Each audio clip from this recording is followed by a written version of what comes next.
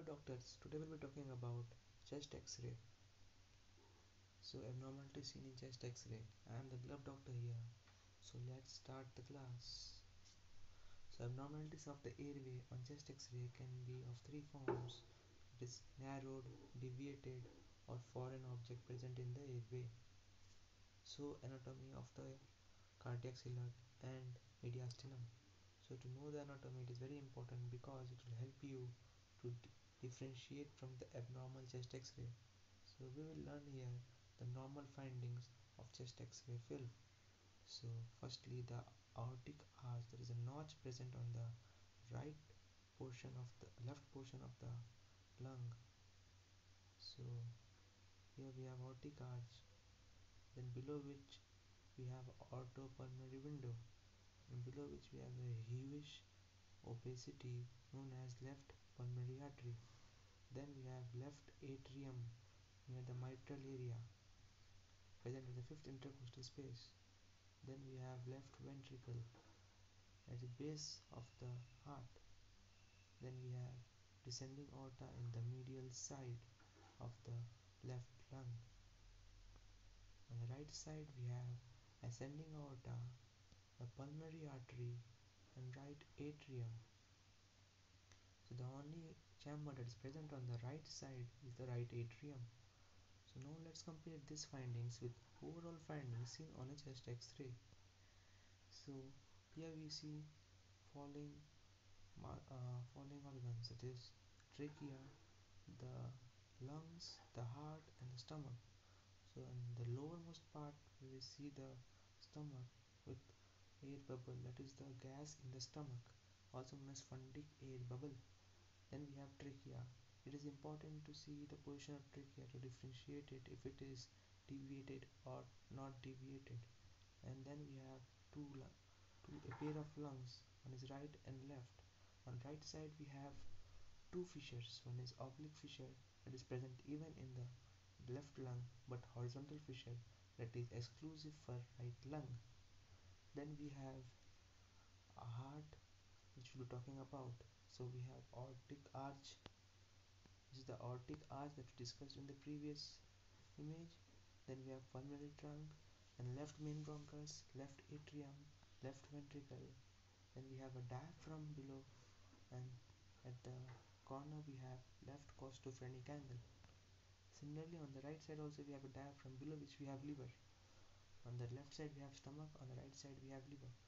So here we have right costophrenic angle and then we have going from below above we have inferior vena cava.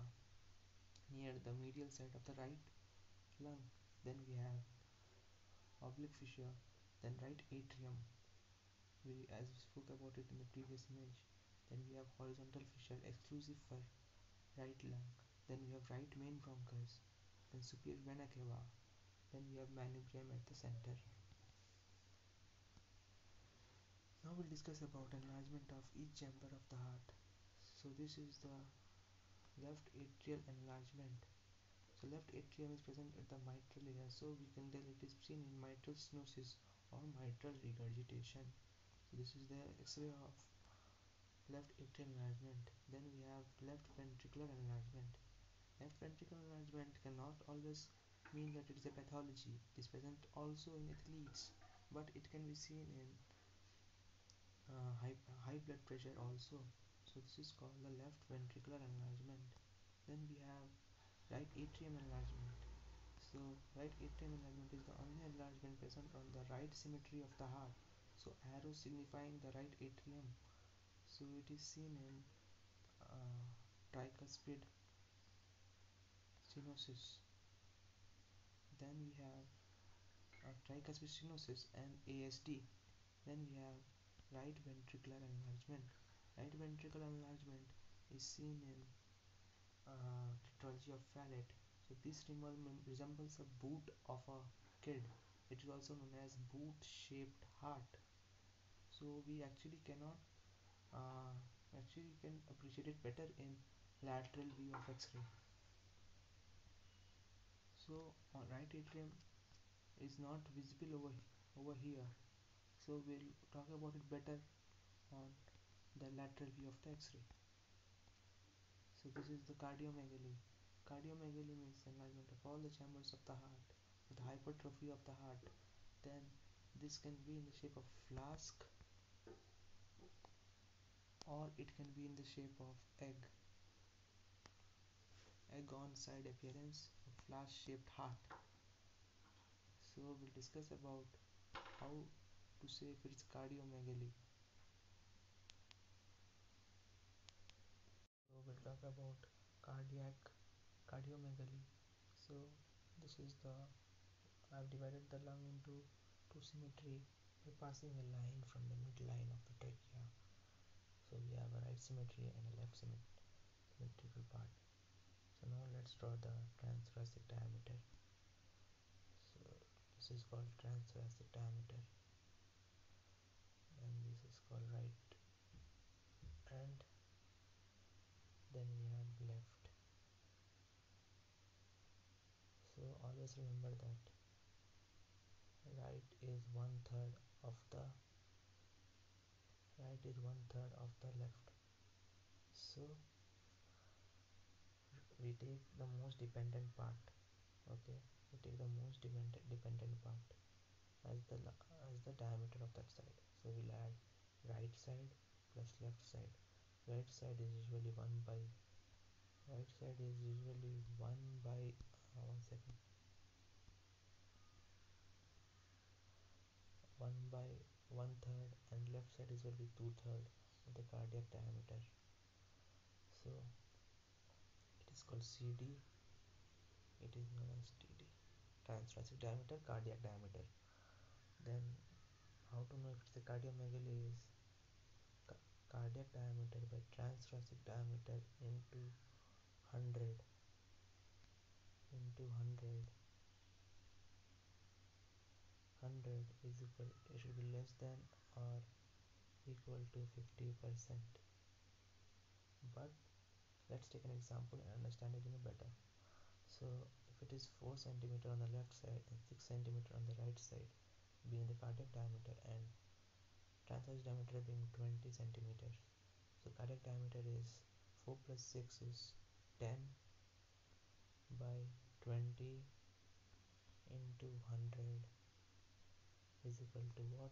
50 so it is normal because it's not exceeding 50 but let's take an abnormal example it is 8 centimeter on the left side and 4 centimeter on the right side and 20 centimeter being the thoracic diameter transthoracic diameter then it is 4 plus 8 is 12 by 20 into 100 so it is equal to 60 so this is exceeding 50 so it is called it is an example of cardiomegaly so this is airway deviation so airway deviation let's look through an x-ray so here the trachea on the left image is deviated towards the right side and the pathology being the left lung so the trachea is deviated away from the pathology in the right x-ray we see trachea is deviated towards the pathology that is on the left side and trachea is also deviated towards the left side. So how do we understand this? How does how does the trachea react to the pathology? pathology? So let's learn about it. So abnormalities deviating trachea away from the affected side is seen in pneumothorax, pleural effusion and large masses. So this will deviate the trachea away from the pathology. So abnormalities deviate trachea towards its pathology it is marked atelectasis or collapsed lung, lobectomy or pneumonectomy, pleural fibrosis or pulmonary fibrosis. So these deviate get towards itself. So they, so these on the pneumothorax, and large masses, these push the trachea, and collapse from lobectomy, fibrosis, and pulmonary fibrosis, it pulls the lung, pulls the trachea. So how do we elicit trachea deviation clinically is by three finger test. So barrel shaped chest, when anteroposterior diameter is more than the transverse diameter, it is known as barrel chest. It is the anteroposterior diameter which is more than the transverse diameter. It is seen in kyphosis. Trachea deviation can be on the right side or left side or we see on the carinal angle. it can have an increase in the carinal angle more than 90 degrees. In pericardial effusion, effusion is bottle shaped. Here X-rays how it looks. Then right ventricular enlargement, I said I'll talk about in detail. This is here. So filling of the retrosternal space. Example in hypertension or heart valve disease like aortic regurgitation. So in this we see boot-shaped heart in the AP view.